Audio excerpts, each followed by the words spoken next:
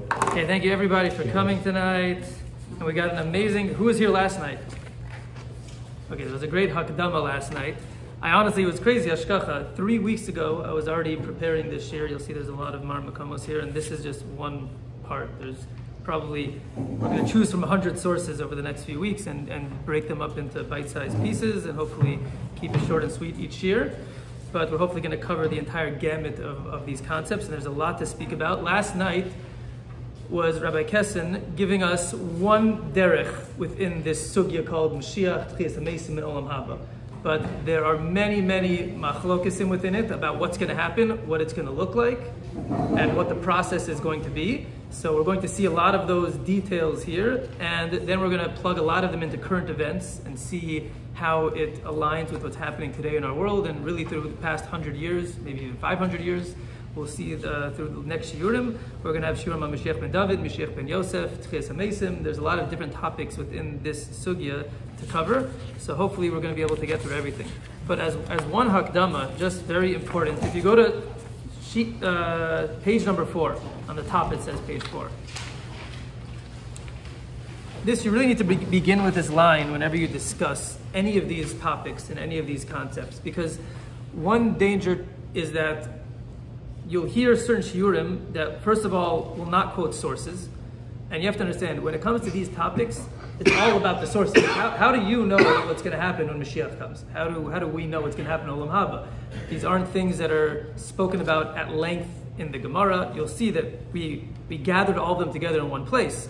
But you need to see the sources because, again, there's not a lot of clarity in what's happening and what's going to happen in the future world. And there's many different opinions. So you need to see the sources inside and you need to understand the subtleties that are involved. But here, if you look in the middle of the page where there's a double underline in the Rambam, this is in the Rambam over here, and this is after the Rambam brings lots of halachas and lots of gemaras and sources that speak about Mashiach. He writes, "V'chol elu hadvarim ukeyotze bahen lo yeda adam heyachiyu ad shiyu." No matter what he just said, and again, he said a lot of things up until now. We'll see some of them inside very soon that seem like he's pretty much telling you exactly what's going to happen. There's going to be a king, he's going to take over, there's going to be a war, there's going to be a new Torah, there's going to be Nebuah. So then he says, however, he's giving a caveat. He's telling you something you're, not, you're only going to know in retrospect. That's what he's We'll say, yeah, we'll say. So he says, here, you will only know what these things are once they happen, because it's very unclear what is metaphorical and what is literal. Meaning, everything that it says is going to happen is going to happen. But is it going to happen in the metaphorical sense, where when you're reading what it says is going to happen, is that literally what it's going to look like? Or is that, let's say, the soul of what's going to happen, the idea of what's going to happen? And it's not necessarily what it's going to look like. So when someone gives a shiur on these topics, they, this is exactly what's going to happen. Boom, boom, boom, boom. So he might be saying what's going to happen in conceptually what's going to happen.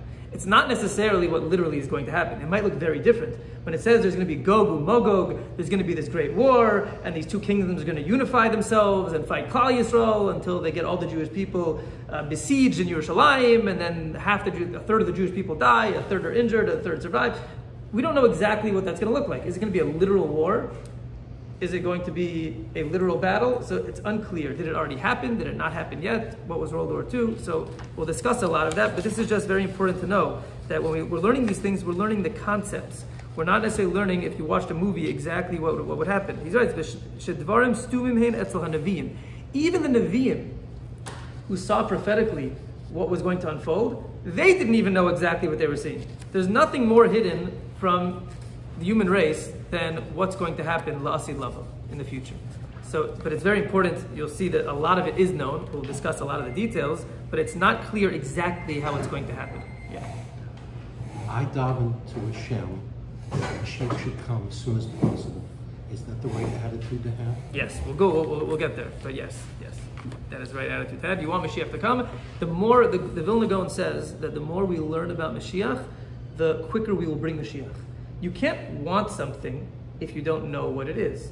If you never tasted a hamburger and you just heard about it, and you never even heard about it, you just heard the word hamburger, you have no idea what it is. So you're never really going to want a hamburger if you have absolutely no idea what it is. Someone just said there's a thing called a hamburger. Okay, if you learn about it, if you taste it, if you smell it, so you're going to want the hamburger, right? So the same thing happens with Mashiach. The more we learn about Mashiach, the more we'll appreciate what Mashiach is, even if we don't know exactly what it's going to look like. A lot we will know. We're going to discover a lot throughout these next few weeks. And only then can you really want it. And Mashiach really comes when the Jewish people want him. Hard to bring Mashiach, says the Vilna Gaon, is having a deep ratzon, a desire for Mashiach, can bring Mashiach. So it's no coincidence we began these shurim as we're getting very close to Rosh Chodesh Tammuz, and we're going to be entering in, into the Bein HaMetzarim, the 30 weeks. And the main avoda of the three weeks, when we're mourning over the destruction of the Beis HaMikdashim, both Beis HaMikdashes, is learning why we're in Galus, what is the purpose of exile, and how much we need to want Mashiach. That's going to be the whole avoda. You have three weeks to focus on that. You can't listen to music.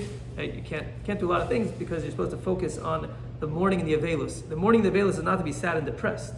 It's to understand what we're missing, and only when you know what you're missing can you really desire it, can you really want it.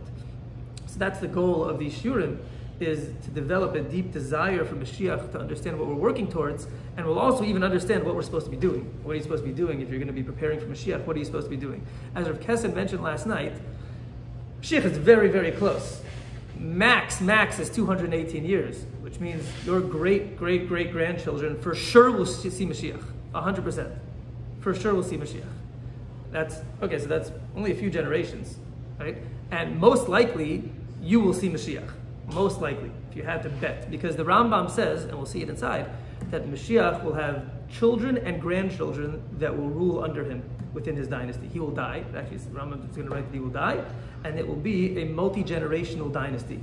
So Mashiach, the Rambam says, again, we don't know what these things mean literally, but the Rambam says it pretty literally in Halacha, we'll see that there's going to be multiple generations of this kingdom. So then Mashiach's not going to die at a young age. Come on, he's Mashiach. He's probably going to get to 120 and his kids are probably going to get to 120. So that's already you know, 240 right there, depending on when he comes. Like he won't be he won't be Mashiach when he's born, but you know if he's Mashiach when he's 40 years old, so you have 80 years right there. You have 120 for his kids. You already have 200. So you're very, very, very close to Yimot Mashiach. And like I said, the probability is that we will see him, that we will get to see Mashiach. That's the hope. So these are very important yanim to learn, and we'll see even why it's even more so important to know what you're supposed to do before Mashiach. Because once Mashiach comes, everything's going to change and you'll lose a lot of opportunities. We'll see very soon that there's a lot of opportunities that you can grab onto before Mashiach comes. So if we have that time, we'll take advantage of it in a much more serious way. So let's dive into the sources. Like I mentioned, the shiur is going to be going through the sources. We want to know what Chazal and what the Gemara say about this. Later, we'll get to the Achronim and the more modern day rabbis and what they, they kind of put the pieces together for us and tell the story like Rav Kessin did last night. But even that, you have to use your own brain a lot, a lot of the time to understand what's going to happen because, like the Rambam mentioned, a lot of these things are stumin. They're very closed. They're not clear exactly what the Gemara means. okay. So here in the very first source, you have the Gemara Avodah Zarah. Sorry, the first source is skip the first two little ones, and we just get to the one that looks like a Gemara. It says a test on the top left of that little source. So Tana Devei Eliyahu, Sheshes Alafim Shana Have Ha'olam. So this is very important. The physical world will exist for 6,000 years. Shnei alafim tahu, 2,000 years will be called tahu, which means chaos. Shnei alafim Torah, 2,000 years are going to be called the period of Torah. Shnei alafim Yemot Mashiach. And the last 2,000 years are called Yemot HaMashiach. Ba'avonosenu sherabu yatsu mehen mashi yatsu mehen. And because of our sins, whatever happened, happened. So what does it mean, whatever happened, happened? If you look down on Rashi, he's underlined. Shnei alafim Torah. So what's Torah below Yemot Mashiach? It means there's going to be 2,000 years, that's the middle 2,000 years, are going to be without Yemot Mashiach, which is interesting. Sounds like Yemot Mashiach is not a person. It's not a, you know, it's not like he comes, it sounds, it sounds like it's a concept. With the, Torah without Mashiach. So it came out from the last 2,000 years Mashi Yatsu, Mashiach Laba. Whatever happened, happened, and Mashiach still has not come. That's what Rashi says. So now we've established something. The world is 6,000 years. Rabbi Kessin mentioned this last night. Right? We are in year what? 5782. So you have 218 years left until the year 6000. What were the 2,000 years of Tohu? So those are 2,000 years before Avram Avinu. When did Avram Avinu get the command of Lech Lecha Me'artzacha, that he was supposed to travel to the land of Eretz Yisrael? So it's an easy way to remember 1948. 1948, right? Coincidence? Maybe. One year 1948, Avram went on his mission of Lech Lecha, and then he became Avram, who he was, by the year 2000. When Avram became the chosen person, that was the end of a period known as Tohu chaos. What does it mean chaos? So the Ramchal explains in Derech Hashem that for the first 2,000 years, there was no chosen people. It, the game was wide open. Any individual that would come to the conclusion that God exists and work with all of his heart to serve Hashem in this physical world, he could have become the Avram Avinu, and the Jewish people would have flowed out of him. So it was like uh, open tryouts for 2,000 years. So there was no direction of mankind because it was kind of a free for all. That's why it's called Toh. It's chaos. There's no Torah in the world. There's no clear commandments in the world. There was Sheva Mitzvahs B'nai Noach. Okay, so there was a little bit of a structure, but nothing clear that we have from the 613. And then Avram, Avram Avinu comes on the scene. He recognizes Hashem through his own seichel by looking at the physical world, and that's the year 2000. So from 2000 on, you have a new reality called Torah. Torah was developed within those 2,000 years. Two, those 2,000 years included Avram Yitzchak Yaakov, the 12 Shvatim, the Shivim Nefesh, the 70 souls that went down to Mitzrayim, Klal Yisrael were in Kalas in Mitzrayim. They came out and they received the Torah. Obviously, that's the main event that happened in the 2,000 years of Torah. But not just them receiving the Torah, you also have the full development of Torah Shabbal Peh. The Mishnah and the Gemara were written in this Tkufa, and it ended around the year 4000, give or take, and that is the end of Torah. What does it mean the end of Torah? Of course, we still develop Torah. That's the end of the seeds or the foundation of Torah. So you have the Gemara and the Mishnah are written, that's the end of that 2,000 years. And then with the destruction of the second base of HaMikdash, you pretty much enter into the last 2,000 years of history that we're in right now. Rabbi Akiva, who lived during the times of the second base of HaMikdash destruction, so Rabbi Akiva already thought that he knew who Mashiach was. Who do you think Mashiach was? Bar Kochba. Uh, Rabbi Akiva, he thought Mashiach was coming all the way at the beginning, meaning because he knew that once the year 4000 hit, it could potentially be Yemot Mashiach. Mashiach could come at any time between the year 4000 and 6000. So Rabbi Akiva thought it was right in the beginning. Bar Kochba was right in the beginning. And he wasn't Zoche, he was not Mashiach. But that's when Rabbi Akiva thought Mashiach was going to come. Now, Mashiach, like we saw over here, there's something called Yemot Mashiach and there's something called Mashiach. Now, one way to look at Yemot Mashiach is okay, there's a 2,000 year window, and Mashiach can come anytime in the 2,000 years. Until he comes, it's just like nothing. It's just neutral. Those years are just neutral until Mashiach comes. Or, and we'll see this a lot, a lot more in the future, that Mashiach could be a process. It could be a process that begins in the last 2,000 years. So that the last 2,000 years of history really has a very different flavor than the rest of human history. Yeah. It's all pre- preparation moving towards Mashiach. And we'll see that as we get closer to actual Mashiach, to when Mashiach actually arrives, everything, the table is getting set. The table is getting set. So obviously, getting the land of Israel was a huge piece in setting the table. Already, even before we got the land of Israel, there were thousands, hundreds of thousands of Jews that were moving to the land of Israel. So the table is pretty much almost set. You, if anyone's visited Israel lately, imagine Mashiach came and 100 years ago. So where would we all live? In huts in, on sand dunes. Right? There was nothing. Israel was desolate, barren. It would not have been a triumphant return to Jerusalem if you'd go to a land that was completely broken and destroyed. So Hashem is setting the table for Mashiach. If you go to Eretz Yisrael now, it's unbelievable what they're building It's unbelievable what you're seeing. No idea. Unbelievable. Beautiful buildings popping up everywhere. It's going to be. It's going to be. A, it's a first world country. It's going to be a metropolis. It's going to be the light unto all the nations. It's going to be the capital. Mashiach is going to sit there by the Kotel, and I mean, it's going to be by the base of Mikdash at that point. But it's, it's setting the table. Right now, everything's moving towards Mashiach. We're almost there. So you'll, you'll see as things move, get closer. So you'll see things that are miraculous that we, we grew up with them. At least I did. I grew up with the land of Israel existing. But you see the Six Day War. You see open miracles that are occurring as Hashem is laying the groundwork for Mashiach. So how long is Yemot Mashiach going to be? So it's a very interesting question. So most people say, okay, like we have no idea. Like, when's Mashiach going to come? So I mentioned, okay, he has to come before the year 6000 it's perhaps right now we have 218 years. He could come one minute before the year 6000. Hypothetically, the, the Yemot HaMashiach, like the actual uh, beautiful reality that we're going to live in, this utopian existence, could last one minute. Because Mashiach could come at the very, very end. That nobody said how long it, it, has to be. However, if you look here in the second source in this in this Gemara, in the middle of the sheet, we're just going to do the underline because they learned from Sukkim So one opinion says, Tanya, Rabbi Eliezer Omer, Yemot Mashiach, Arbaim Shana. Bam! Mefurish. Yemot Mashiach, 40 years. So we might not see it. Oh no. Right? 40 years. It says Yemot Mashiach is going to be 40 years, which is implying that from the time Mashiach comes until the year 6000 is going to be 40 years. So if that's the case, most of us will not be there. However, if you look down the line, Rabbi Elazar ben Azariah Omer, Shivim Shana. Okay, we're getting closer. Right? 70 years. So maybe it's going to be 70 years. Look down a little lower. Okay, Rabbi Omer, Shlosha Doros. It's going to be three generations. In Gemara, usually 70 years is a generation, so there you have 210 years. Now we're really close. Seventy years? I don't think. 70 years generation. Hey, you get very close. Seventy years is three generations. Three, no, no, 70 years is one generation. So three generations is 210 years, so then you're very, very close. Rabbi Eliezer Omer Yemot Mashiach Arba'im Shanas. Another opinion, 40 years. Rabbi Dosa Omer Dalid Meo Shana, 400 years. So we missed that one. Right? 400 years. Rabbi Omer Gimel Meos V'Shishim V'Chamei Shana, 365 years. We missed that one. Right? Rabbi Abau Yemot Mashiach Liso Shivim Alafim Shana. That's the hardest one. It's going to be 7,000 years. Okay, how does that one make sense? I'm not sure. Right? No, like I think 7,000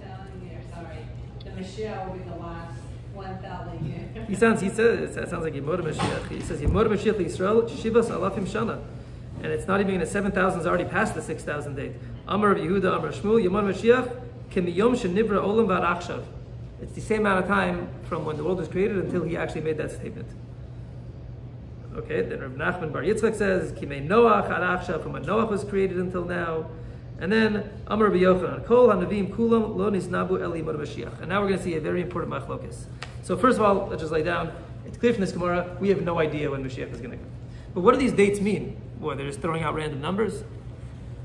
So you should know there were many Gedolim, many tzaddikim that called Mashiach or attempted to call Mashiach. They tried to say when Mashiach is going to come. They gave dates. Almost every date has passed. Even the Rambam, who we'll see in his halacha, writes, you should not predict the date of Mashiach, predicted a date for Mashiach. He writes, why, why should you not predict a date for Mashiach? Because if it passes, so the Jewish people are going to get depressed and they're going to lose hope. So it's not good to predict dates. But the Gemara already shows you that there were dates predicted. So what does it mean when they predicted a date? It means there are auspicious times that Mashiach can come. What would be very interesting is if someone would calculate these years and tell me what happened in these years in history. Maybe there were major world events, maybe see the Six Day War, I don't know, something amazing where it was almost Mashiach, but we weren't there. Almost, but not quite. But there are auspicious times when Mashiach can come. And things happen during those times. Another notch is created that gets us one step closer to Mashiach. So these aren't random dates.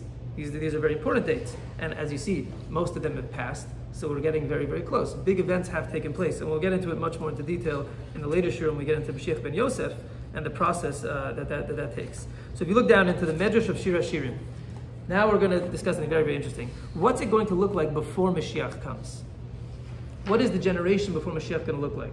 So there's another Gemara that I didn't bring here on the sheets, that there's many Tanaim that say, Mashiach should come, but I don't want to be there to see him.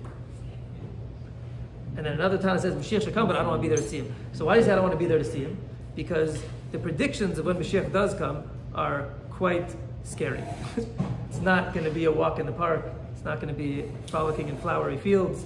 It's going to be a very, very scary period of time before Mashiach comes. So these Tanam are saying, I want Mashiach, but I don't want to be there to, witness it. I'll, I'll wait for Tchias Mason. You'll bring me back once it's over. You wake me up when, when, when it's time. I don't want to be there to watch it happen. So why they say that? So you have to see the sources before we see that. So if you look in these sources at the bottom of the sheet, Amr Reish Lakish, Dorish ben David ba. So the generation Mashiach is going to come. Beis Havad Yilaz Nus.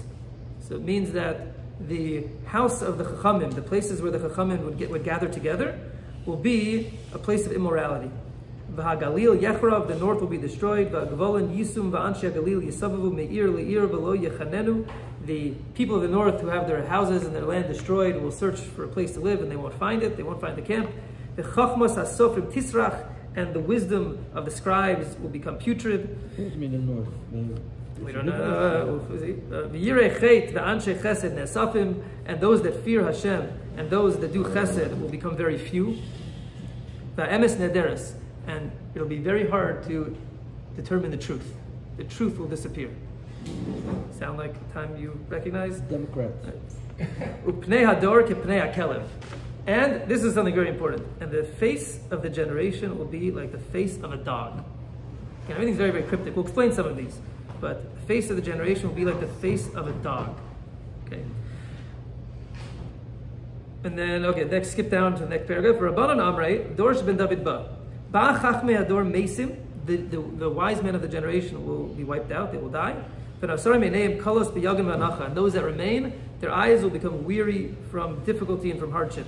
The tsaros rabos veros rabos baos alatzibor. And terrible tsaros will, will, attack the tzibor, ugzeros kashos mischadshos, and there'll be new decrees against the Jewish people. Umishtalchos ad sharishona kayemes acheres ba b'nismecha la. And until the next degree comes, the first degree, the first decree won't even be finished. So you're just going to have terrible events, one after another, lined up. Next, Amar Rabbi Naharai, Dorsh David Ba, Hana'arim Yalbinu Lezakanim. The young people will not have any respect for their elders.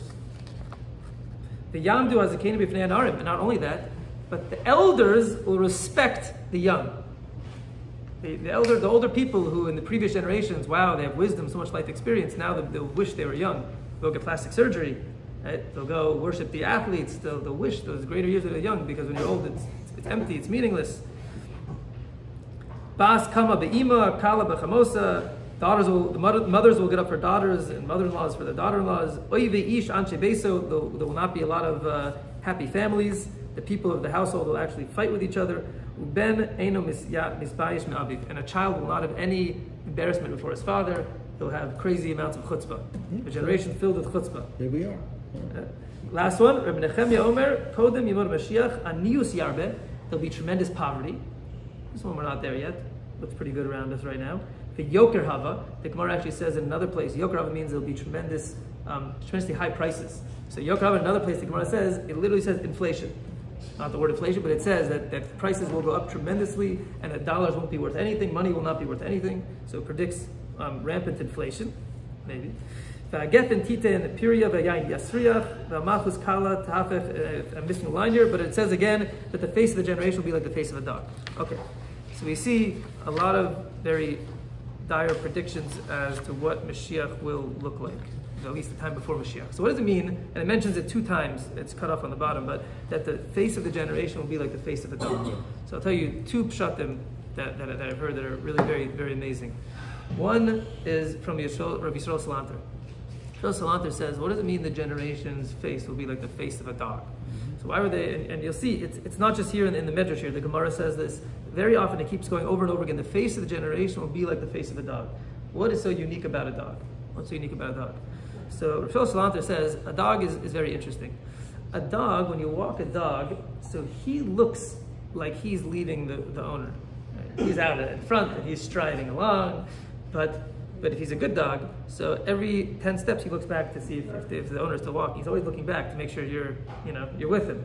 So he looks like he's leading, but really he's looking back. He's really he's not he's not leading. He's a follower. He's following ahead. He's following ahead. So Bisol Salanter says, what's going to happen before Mashiach comes? So there's going to be a new form of government. It's a government where the leaders are not leaders. The leaders are actually followers. They look like they're leaders, but every two minutes they keep looking behind to say, "Is this okay? Okay, good." What do you call that? That's democracy. Democracy is not about, very rarely will you get a leader elected in a, de- de- democratic system. A guy that just says what he thinks, I mean, we had one in the last presidential election, a guy said, just doesn't care what anyone else says, but he'll just say what he thinks, and people like, liked it. Not everyone liked it, some people hated it. Um, but generally, in a democratic election, so they take polls and they say, okay, what do people want? Okay, that's my policy. My policy is what the majority of people want. Because if I say what the majority of people want, so I'll get elected. Because that's how democracy works. It happens to be that the ideal form of government, if you're dealing with righteous individuals, is monarchy. Mashiach is going to be a king. He's not going to have a parliament. There will not be a parliament of Mashiach. There will not be a Congress and a Senate of Mashiach. Right? There won't be a Supreme Court. There'll be Mashiach. Mashiach will be the king. Why is monarchy generally not the preferred form of government? Because generally, the most, most ruthless, psychotic individual becomes king. So it's not a good system. But very sometimes, like Shlomo Melech, you'll get the wisest man of the entire generation to become king. The most merciful person, the person with the greatest chesed, he'll only want what's best for the people. That's the best government you'll ever have. If you have the, the most righteous individual alive, that is only following Torah and the will of Hashem, and he's the, the leader, undisputed, he's the dictator, that's amazing. You want to live under that dictator, trust me. He's going to guide you in the right direction. He's going to make sure you get to Olam Haba. And he's going to make sure that Hashem is happy with the Jewish people. If Hashem's happy with us, then he sends physical bracha. Everything looks great. The 40 years that Shlomo Melech was king, you know, was, that, that non-Jews were not allowed to convert. We did not accept Gerim. Also during Yom Mashiach, we're not going to accept Gerim. Why are we not going to accept converts? Because the Jews are on top, right? It's going to, it's going to be so good to be a Jew that who wouldn't want to join? Who wouldn't want to join? A ger is impressive when we're in Galus. That's very impressive. Someone wants to join the Jewish people when they're getting stomped on. So we want them to join our team. That's what we want on the team. But when someone joins Mashiach, Shlomo Melech, so it'll be the good, the good old days, right? No, we, we don't accept gerim during that time. So Pnei Hador Kipnei Akeled means that there will be no leadership in the world. The masses will be leading the world, and generally the masses are after money, fame, physical desires, pleasure. They're not after uh, the righteous things that we strive towards. They're after instant gratification. So the whole world will be chasing instant gratification, and there won't be any leaders around that will actually preach morals and ethics and chesed. So that, that, that's one understanding of Pnei Ador to Pnei Kelev. And you should know, there was never democracy ever in the history of the world before. I mean, okay, you had in Greece a little bit, but as a mass movement, you didn't have it until America came on the scene. And even then, that was one of the only countries that had it. And okay, England had it before, America had it, then it spread it slowly, slowly. It's really the first time in human history is only a few hundred years ago that you have mass governments that are using a democratic model. So that could be, depends from Mashiach. But I'll tell you that my, my favorite pshat, I think a, a deeper pshat, and, a, and it's interesting, is from Moshe Shapiro. There's a Gemara that says that Rabbi, Gam- Rabbi Gamliel and Rabbi Yehoshua were on a boat together. They went on a sea voyage. And Rabbi Yehoshua brought extra rations of food, more than were necessary for the trip. And on the trip, they got lost. They got lost at sea, and Rabbi Yehoshua saved them because he had extra food. So Rabbi Gamliel told him, How did you know to bring extra food? How did you know? You know, you, you, pack light when you go on a sea voyage. You don't want to have extra bags on your ship. So how did you know to pack extra? So he said, "Oh, it's obvious." The Gemara says that once every seventy years, there's a star that appears in the sky that throws off the sailors. The sailors used to navigate the seas based on the stars. So he says they had the map of the world based on the stars. They knew where they were standing based on what the sky looked like. And every 70 years, there would be a star that would appear, move across the sky, throw people off, and everybody would get lost. So that's what he says. Okay. So, literal mashal. So, the Gemara is very deep. In, what's 70 years? We said a second ago. 70 years is a generation. 70 years is a generation. So, Rabbi Moshe Shapiro said that once every 70 years, once in a generation, there's a concept or an idea or a philosophy that looks true, it looks really good, but it'll throw off the entire world. The entire world will chase this thing only to find out later that they totally missed the boat, right? That, that they lost their way at sea.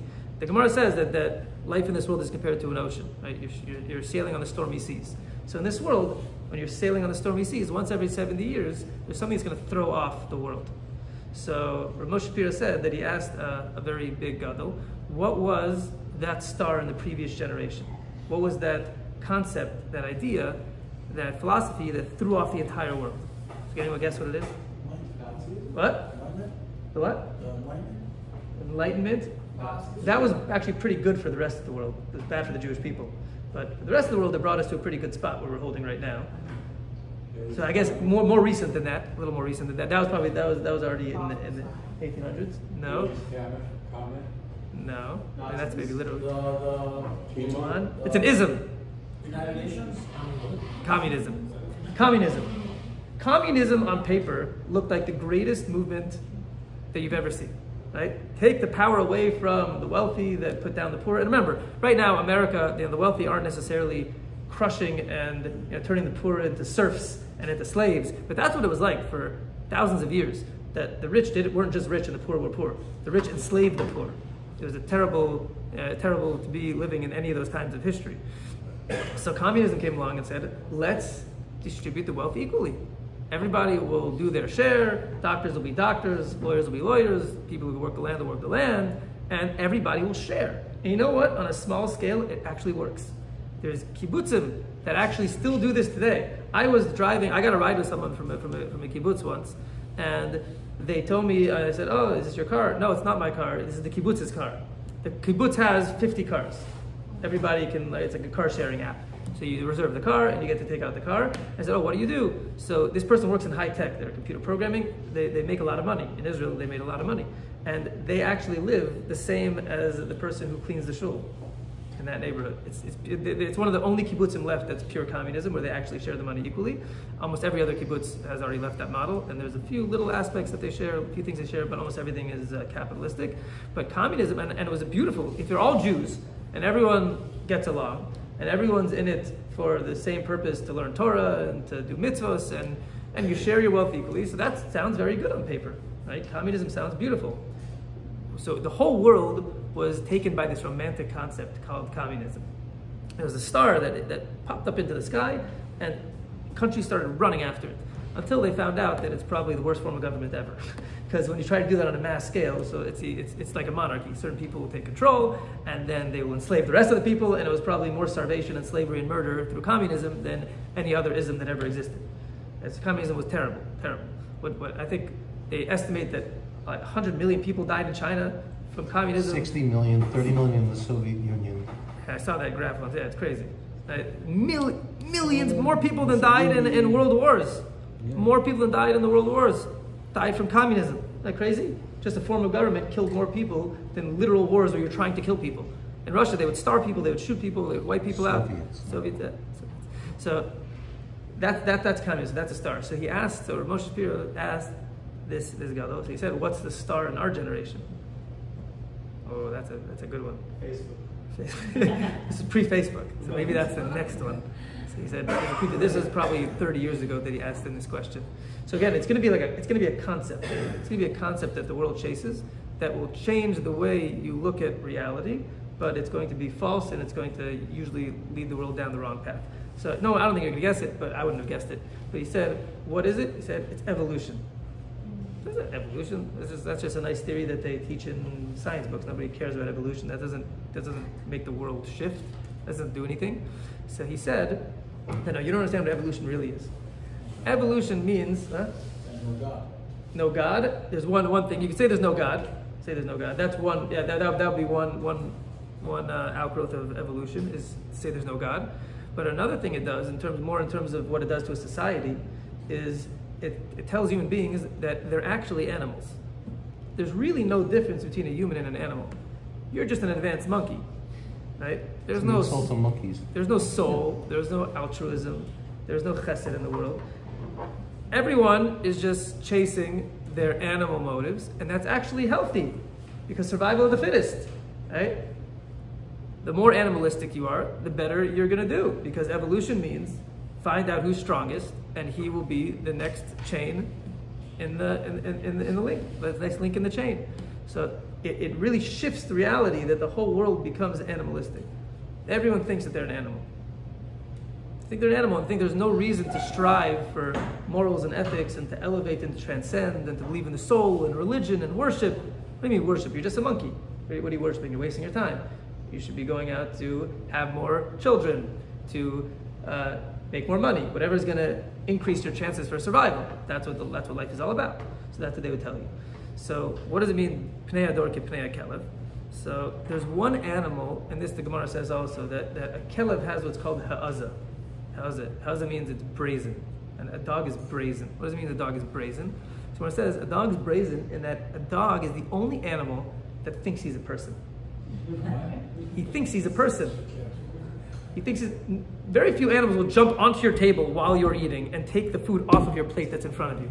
Most animals are scared of a person when he's eating his food. They're not going to jump on and, and Not wild animals. not wild animals. Yeah, maybe. Ah, even when a person's there, I've never had a raccoon take the food off my plate while I'm sitting there eating it. Right? They're usually scared of human beings. They won't come there and grab it. When you leave, they'll take the food. They won't come and grab it. A dog thinks he's a person. No animal has the gall to lick you in the face. Right? To jump up and lick you in the face. He will kiss you. He will hug you. A dog thinks he's a person. In fact, right? What happened in, in, the, in this last generation? We believe it. All dogs goes to heaven. See, we'll get, we'll get to that maybe. But we believe the dog. You can, You walk down New York City today, you will see dogs wearing clothing. And you won't even flinch because what do you mean? Of course dogs wear clothing, they're cold. Right? It's raining outside. Of course a dog has has a raincoat. Of course they have dogs wearing shoes. Of course a dog wearing shoes is gonna hurt his feet. Right? There is there is a dog restaurant. It's a dog restaurant where you take your dog to a restaurant, right? They push him in a baby stroller. Right? What happened? The dogs were so convincing because once you have evolution and you say that a person's really an animal, that if an animal thinks he's a person, so he's right. Who's to say he's not a person? You? You're just another animal, just like him. So if he thinks he's a person, so he's a person. So what, what, what you would have seen 50 years ago, if someone saw a dog walking down the street in a sweater, 50 people would have gathered around them. They wouldn't believe their eyes. A dog in a sweater? Are you crazy? They would have laughed at that person. Now, if your dog's not wearing a sweater, someone would be like, Are you kidding? He's freezing. Put a sweater on him. Are you crazy? So what happened? So evolution came came into the picture. And Pnei Hador Pnei Keleb means the generation's face will be like, like the face of a dog. Just like a dog thinks he's a person. So people will think they're animals. People think they're animals. And the whole society will run, will be running after animalistic urges. And that's what the generation will look like before Mashiach. So I think we've, we've pretty much gotten there in what we see around us. Okay. So now we're going to see a very, very important machlokis that's going to be a basis. And right now, t- tonight we're laying down a lot of the foundations. And then we're going to kind of make it flow and more of like a story in the, in the next year to kind of explain them. But here you have to have the basic pieces because in all of the later Sfarim that discuss these topics, they're all basing themselves off of these sources in the Gemara. Because again, just to point out, whenever you learn Torah, so you always have to build off earlier sources. Anyone that just says, "This is the way it is," because I thought I thought that way, I'm the first person to ever say it, so you should question that person. Right? If he's not the if he's the Arizal, maybe he's the greatest tzaddik of the generation. So okay, maybe he has revelations from Eliyahu Navi, and that's how he knows. And we believe the Arizal, even though he doesn't always bring sources. Very rarely does he bring sources. But if you see an average person saying, this is what this angel does, and this is what happens in Shemaim during this time. And, okay, if he's not telling you where he's getting that from, so you should be suspect at best. At best. So you need to always know the foundations that they're working off of because they can't work outside of the framework that's given to us by Chazal. Chazal are the rabbis of the Gemara, of the Medrash, and of the Mishnah. That's, that's what we refer to when we say Chazal. So that's why these sources are going to be working in chronological order. We're always going to see the Gemaras, the Midrashim, and then we're going to work to the Rambam, to the Ramban, to the Rishonim, or the next link in the chain. And then you get to rabbis that have lived in the past few hundred years, that kind of are the ones who speak about the topic much more robustly. They really go into it.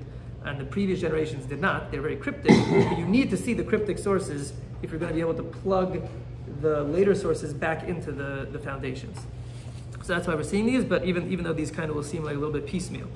Okay, so says the Gemara here in the Mishnah. We'll just do the underlying pieces. Lo ish lo b'sayif. So the Gemara on Shabbos says that a person is not allowed to go out on Shabbos with his sword. The Isser of Hotzah. If there's no Eruv, so you're not allowed to carry your sword on Shabbos. Okay. Shneamar, okay, so why are you not allowed to carry your sword on Shabbos? Still the keshet, tris, you're not allowed to take a, we'll keep going after the underline, you can't go with your arrow, you can't go with your armor, not with your spear, and if you go out, you're chayv chatas. That's the first opinion. Rabbi Eliezer Omer tachshitin hein lo. You're allowed to go out with them. Why? Because it's jewelry. Just like a woman can walk out with her earrings and her necklace, so a man, what's his jewelry? His sword and his spear. His sword and his spear is jewelry. No, they say that weapons are not jewelry. They're disparaging. You can't go out with weapons. They're gnai. They're, they're, they're, they're negative. You don't, a person wouldn't want to wear them and show them off as jewelry. How does he know that? How does, how do the Chum know that? The kititu charvosam leitim lemazmeros v'lo yisa goy el goy cherev v'lo yilmudu od milchama. That in the times of Mashiach, there'll be no more war. What's going to happen? They're going to convert their swords into plows, and their armor is going to be into other digging implements, and they're going to use it for farming. World peace. You don't need the weapons anymore. I've heard a, a, a certain tzaddik that said that this means that uh, we'll have enough energy from all the weapons that we've created, nuclear energy from nuclear reactors, that it'll power the world. That's what it means. Today, it means all the weapons will be used to power the world. I think someone said that if you take the budget of, of all of the military expenditures in the world from all the countries, every person in the world could get a million dollars. something crazy like that. A little more than Oh, it's a crazy, crazy number. Take all of the military expenditures in the world. It's a it's an mm-hmm. astronomical number. So you have to understand when Mashiach comes, it might not be that there's going to be so much more prosperity. We're just not going to need weapons anymore. Right? So if you stop producing weapons and you convert all of them into energy, so then you'll, you'll have a pretty good world that you're going to get to live in. Okay, so that, that that's what the Mishnah says. So in the Gemara, there it explains what this machlokes is about. So it says Tanya. After it says little Gemara words, it says after the two dots Tanya. Amrulu Rabbi Eliezer. If you're telling me that weapons are jewelry for a man, so then why are we going to get rid of them in Yimod Mashiach? Amar lahen. So he says to them. And Rabbi Eliezer says because uh, sorry, uh, Rabbi Eliezer says because they're not going to be needed. They're going to be jewelry. You're not going to need them. They're going to be jewelry. Aval Amar Abayi midid hava astrag batira upliga de shmul. Okay, fine. It's going to be like a like a. So Abayi says that's not a good reason because it's going to be like having a candle in the broad daylight. No one's going to want jewelry of a weapon if you're not going to have any use for the weapon. So you're not going to use it. It says upliga. Now here's the important part that I want to show. Damar shmul. Ein bein ha'olam hazel imod Mashiach ela shibud galios bilvad. Shmuel says there's no difference between the way the world looks right now and Yimod Mashiach other than shibud galios, which means other than the goyim being in control of the world and suppressing the Jewish people and oppressing the Jewish people. That's the only thing that's going to be different. There's going to be What world people, oppressing the Jewish people. Shibud galios means we're in galus and they are in control, and the Jewish people are on the bottom. So Right. that's when Mashiach comes? No, that, that, that he's saying that the Yomod Mashiach, once Mashiach comes, nothing's going to change. It's not going to be a miraculous existence. It's going to be the regular day to day life we live now. Except imagine that day to day life, which you can already kind of imagine it in America a little bit. But you're basically going to get to sit and learn, and you're going to have unlimited funds, unlimited money, and just serve Hashem all day without having to worry about anything. And all of the Goyim and the other world religions are going to recognize that the Jewish people are the chosen people. There will only be one religion in the world. Mashiach will be the king of the entire world. All the Jewish people live in the land of Israel, but the world is going to run the way it runs. Everything's going to pretty much look the same. It's just going to be a utopian existence.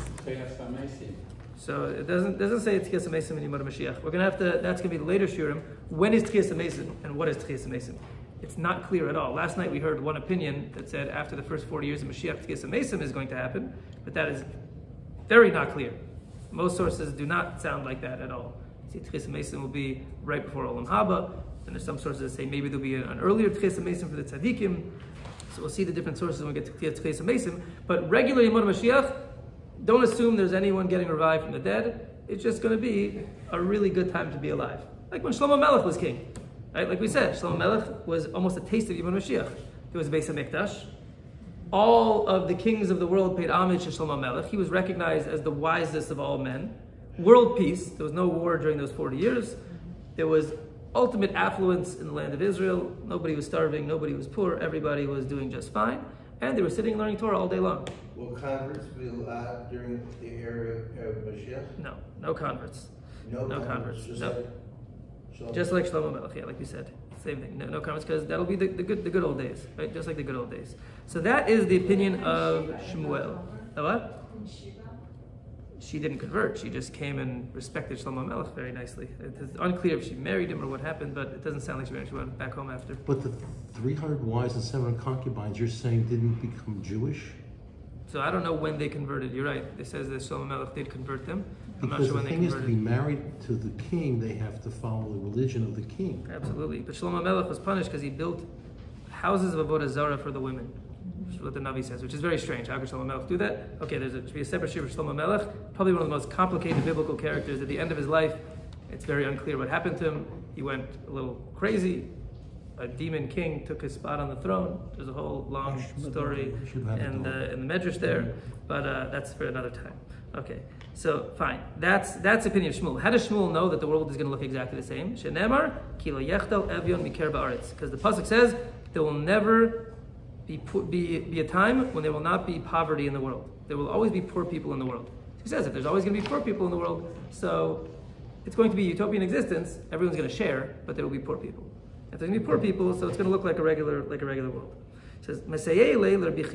However, the opinion that we saw earlier of the of the, the fact that there won't be any war in the world helps Rabbi bar Abba. Damar Rabbi bar Kol hanavim lo nisnabu eli Mashiach. Now we're going to see. There's a lot of concepts in, that we see in Navi that they speak about la'asid lavo. Now, asid lavo is very is a very general term. What does asid lavo means?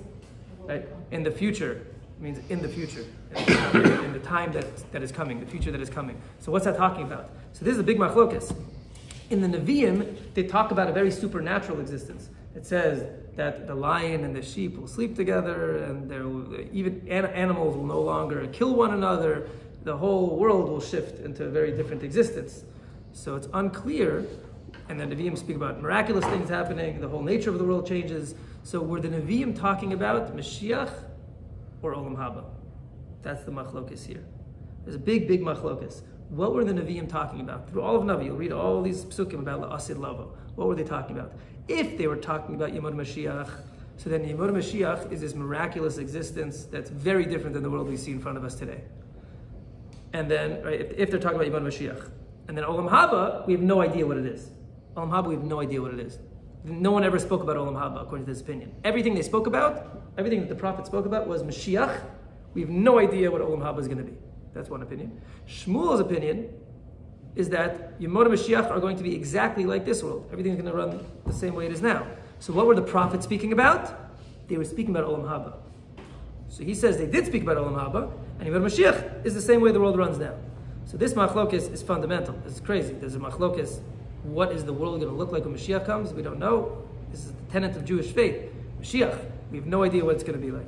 So we're going to see, Mizrat Hashem, in the coming shiurim, because we're going to have to end now, um, what this all means. How do we paskin in this machlokis? And we're going to see that the Rambam actually paskins both ways. In one place he writes like Shmuel, and the other place he writes like Rabbi Yochanan, which is very, very strange. So we'll have to answer that question, and I'll tell you just a foreshadow preview. It's dependent on the two Mashiachs. Remember always, there are two Mashiachs. There's Mashiach ben Yosef, and there's Mashiach ben David. And it's never clear what anyone is talking about, because they usually don't write the word ben David or ben Yosef. They just write Mashiach, Yimot HaMashiach. Yimot of Mashiach? What do those two periods look like? What's the goal of each? Is it, is it a person? Is Mashiach ben Yosef a person? Mashiach ben David is for sure a person. Is Mashiach ben Yosef a person? What's the purpose? So that hopefully we'll start getting to the Sugi Mashiach ben Yosef, and that will also explain what's happening in our world over the past hundred It years. doesn't say Mashiach, it says Ben David. Ein Ben David Ba. Those are those previous, yeah, those previous Gemaras. That's Ben David. So that, that's clearly talking about Mashiach ben David. Those Gemaras.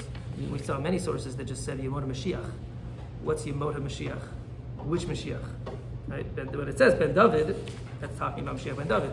But many times it doesn't say who it's talking about. It just says Mashiach. Yemot Mashiach. Okay, so those those we'll see next time. Okay, everyone.